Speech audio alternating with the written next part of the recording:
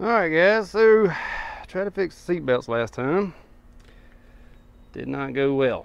As you can see, they're still hanging out the bottom. So, for thirty dollars, I bought these from eBay.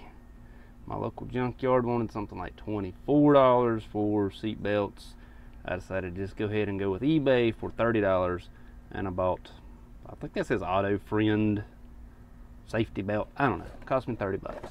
Biggest concern I have how long this is. I'm worried it's not long enough.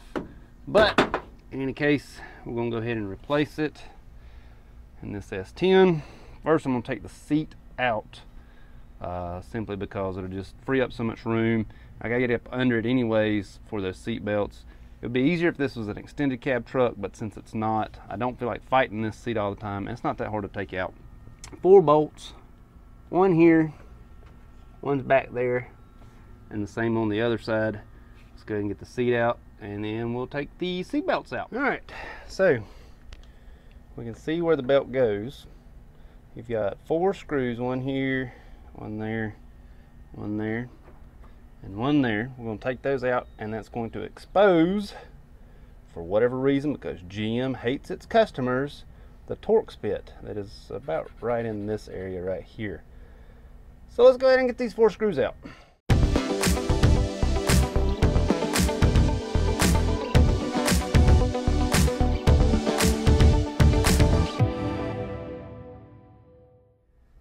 So right here beside the seat belt, is our bolt.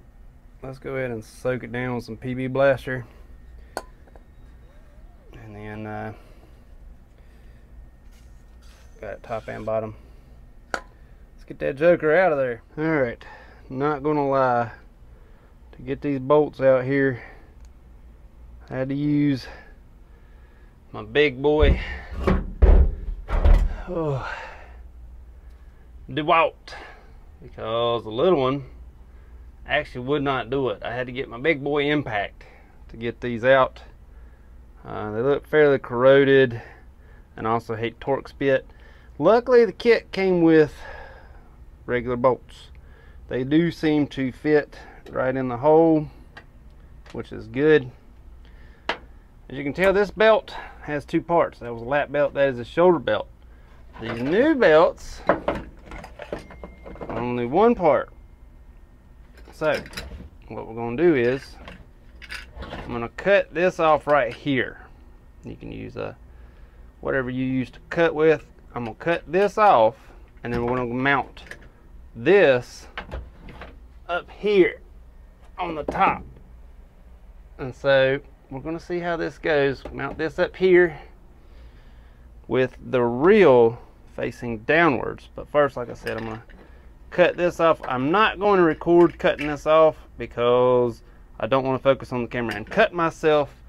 I also did not record taking the bolts out with the impact because it got so loud and the truck actually rattled so bad I was worried my camera would fall over.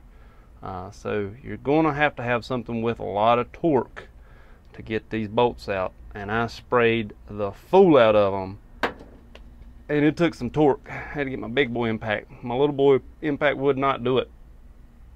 I, I even tried doing it by hand. Would not do it. All right, so I'm gonna cut this off and then we're gonna mount this joker up. All right, so be sure you do not damage the existing bolts because they have to go in your new kit and they don't quite fit. They just won't, they won't quite go. So you got to drill them out. Uh, you also have to drill out, if you're going to go ahead and do it, the buckles as well. This one I bent, uh, trying to make it hopefully work better, but you got to drill these out. They don't fit automatically uh, if you're doing this on the S10 because you have to use these because the ones that came in the kit with these don't quite fit. All right, so right here in this hole, I'm gonna hang the seat belt upside down. Right there. If I can get it in there. Just like that. So, whew, a little bit loud. Let's go ahead and hang that joker up there. Okay, uh, let me you what we got here. Oh, gracious there. Belt comes out of there. Here's your buckle, and it's bolted where the old one used to spit out. Right there. And then here is our buckle. So you'll sit right in there just like so. As I said before, my biggest fear is the buckle itself being tall enough to get over the seat. Uh, I, th I, think I'll be all right. Um, looking at how much room I have there, judging from where the holes are in the seat itself, I will probably end up bending this um, so it's more of a 90 degree angle uh, straight up and down uh, so it fits out of the seat. I am, however, very impressed at how this turned out. Uh, it was pretty, pretty uh, uneventful. Happy at how it turned out. And buckle it up like so. Now all I gotta do, like I said, is bend this and bolt the seat up. I may not even have to bend that very much. Um, but uh, that will be a tomorrow project because it is beginning to get supper time and I got to feed some babies. So I'm to pick that up tomorrow. I'm to leave off here now.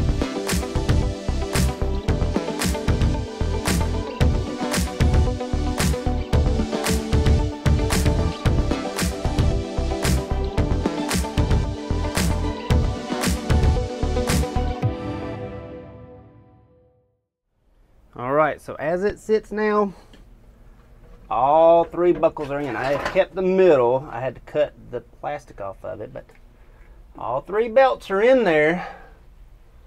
Now we get to fight the seat to see if that fits, which it should fit because it came out of it.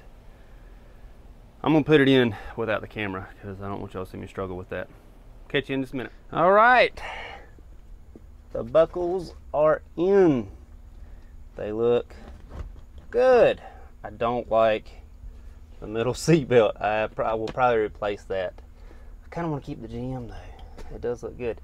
Uh, but as you can see, they work. And they'll lock.